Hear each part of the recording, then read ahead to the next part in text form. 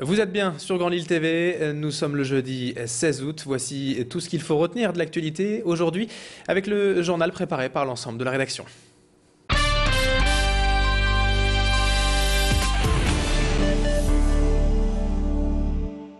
Rappelez-vous, l'année dernière, c'était Métropolis, la radio partenaire de la braderie de Lille.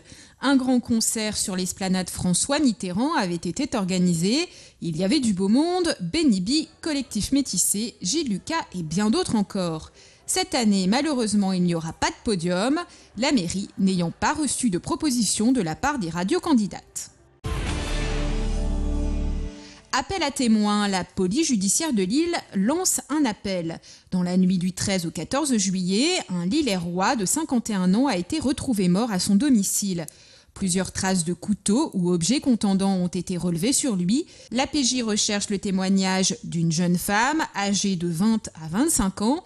Son véhicule est égaré à proximité, devant la maison de la victime, vers minuit le 13 juillet. En plus de ce témoignage, la PJ invite toute personne qui détient des informations sur cette enquête à les contacter au 03 20 30 37 25 ou au 03 20 30 37 26.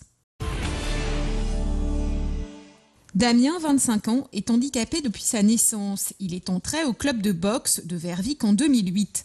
Cette année, il a même participé à des compétitions et a gagné deux combats dans un challenge national une fierté pour cet athlète. Ça m'apporte énormément de confiance parce que je suis quelqu'un qui au quotidien se dévalorise beaucoup et pense qu'il ne peut pas faire grand-chose. Euh, et, au final, bah, le fait de venir ici, ça m'apporte énormément de dire, bah voilà, je peux le faire je peux le faire, je suis capable.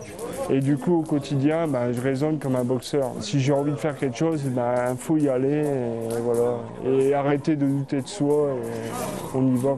Fan de Rocky depuis son plus jeune âge, Damien s'entraîne deux fois par semaine, un exemple dans ce club. Le club de Vervic a donc adapté un cours à son handicap et Damien a réussi à vaincre sa timidité du début.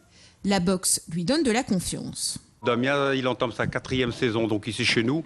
Bon, quand il est arrivé tout timide, d'ailleurs il est encore quoi, tout timide, donc euh, il parlait pas et tout ça, donc on a dû être un petit peu autour de lui pour le mettre un peu à l'aise.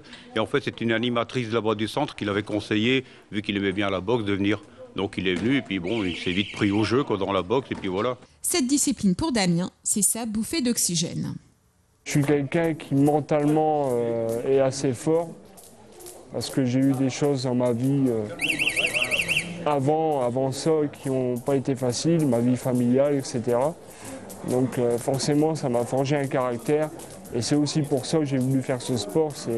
C'est aussi pour ça, c'est pour pouvoir m'évader un peu de ma vie quotidienne et, de tout ce que je vis euh, au quotidien. Insolite dans le Nord-Pas-de-Calais. Savez-vous que le deuxième producteur de champignons de Paris est installé à Comines? Bienvenue à la ferme de la Gontière. Elle s'étale sur 8 hectares. Par semaine, ce sont plus de 130 tonnes qui sont récoltées. La production est la plus naturelle possible, sans engrais ni pesticides. Les champignons de Paris ou rosés des prés sont ramassés à la main. Ça, c'est une culture qui a été mise en œuvre il y a 6 semaines.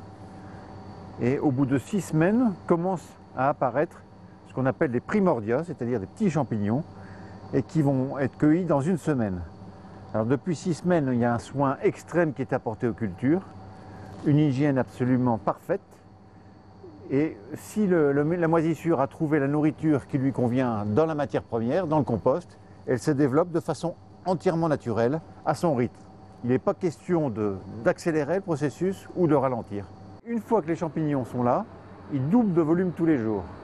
Et là, vous êtes dans une culture où la culture, où la culture est arrivée à maturité, et pendant quatre jours, on va cueillir les uns après les autres chaque champignon selon leur taille. Alors vous voyez qu'il y a des gros qui sont excellents pour être farcis et des petits qui serviront pour l'apéritif ou pour être croqués. Et là, la cueilleuse sélectionne chaque produit selon sa taille et selon sa phase de, de maturité aussi.